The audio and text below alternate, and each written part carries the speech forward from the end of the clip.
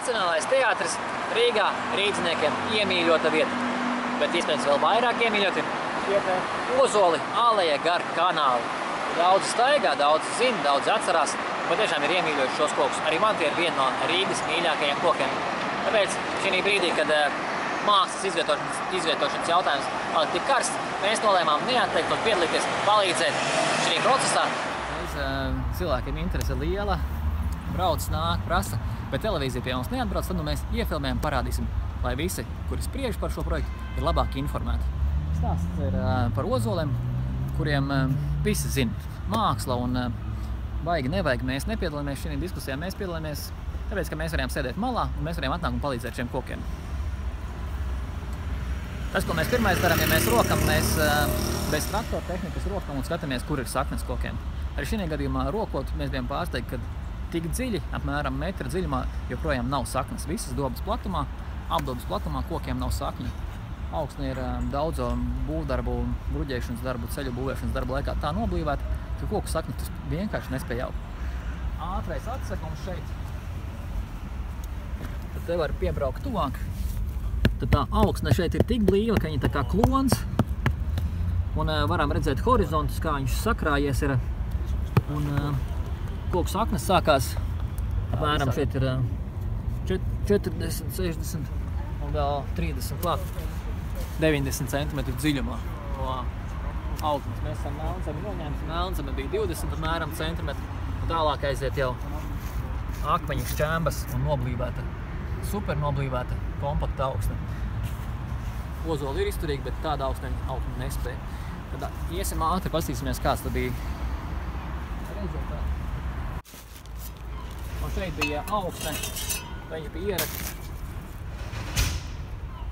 apmēram 70 cm sākās pazīmes par sakņa kaklu.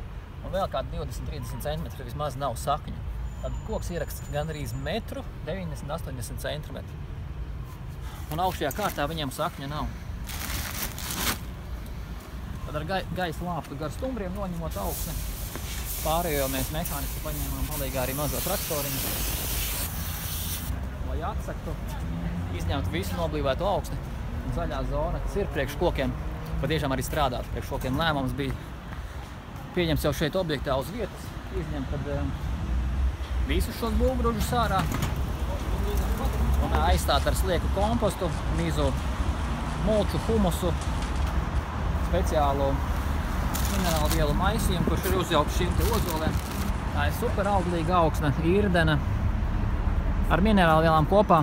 Pa virsu ir uh, vecā šķelda, pēc tam pa, pavisam pa augšā ir jaunā šķelda, un tas imitē mežu. Mums ir uh, mežā ir pēdējās noberes, kas ir mazie zariņi, lapas, tā ir virskārta, zemāk mums ir sadalījusies šī te organiskā daļa, un tad tālāk jau ir organisks, kur mēs imitējam šo te slieku kompostu substrāts. Un tas viss radīs apstākļus, kuros koki var augt. Kokiem vajag irdenu augsni. Un ir viens labs veids, kā to pārliecināt, vai augsne ir gana irdena. Tas ir armatūras tests. Arī jūs varat paņemt armatūru un iziet pie saviem kokiem pasīties, vai viņiem ir gana irdena augstnē. Mežā jūs varat iestumt armatūru, pilsētā nevarat. Ja nevarat, koki nespēj tur augt. Un koki grib, lai viņiem tā kā mājās. Mājas kokiem ir mežs un mežā, ja jūs paņemat armatūru, jebkurā vietā arī šeit, kanāla malā, nu te ir 30 cm, liku roku, iestumju armatūru. Šeit 40 cm. Un tad tā zaļā zona, par kuru ir tas karstais jautājums. Šeit, oh, no viss spēka tā, lai roka nesāp, te ir kādi 8-10 cm. Te ir 15. Prieks, ka tik daudz rīznieki satraucās par kokiem. Ja bez kokiem Rīga nebūtu netik jauka, netik dzīvojama pilsēta. Un iespējams šis stāsts tomēr var iznākt ar pozitīvu rezultātu, jo visu šo betonu un noblīvētās grūnas rezultātā kokiem būs pat ieguvēji. Sākumā likās, ka viņi būs tikai zaudētāji. Šobrīd brauc kubikmetri pēc kubikmetra superīgākās augsnes. Visi tie būvmateriāli un uh, moblīvētā grunts brauc projām. Un kas zina, varbūt nekā no tā viss nebūtu, ja kāds negribētu šeit izvietot mākslu. Citreiz viss apgriežās kājām otrā. Koki no cietējiem paliek par ieguvējiem. Cerams, ka tā.